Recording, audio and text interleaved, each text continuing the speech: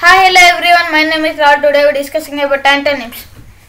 Opposite words: fresh, stale, fair, unfair, fall, rise, first, last, familiar, strange, few, many, found, lost, fit, unfit, guest, host, guilty, innocent.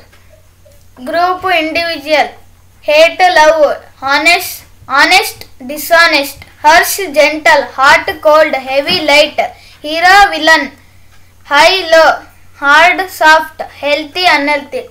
So, children, today we discussed about antonyms. Thank you, friends.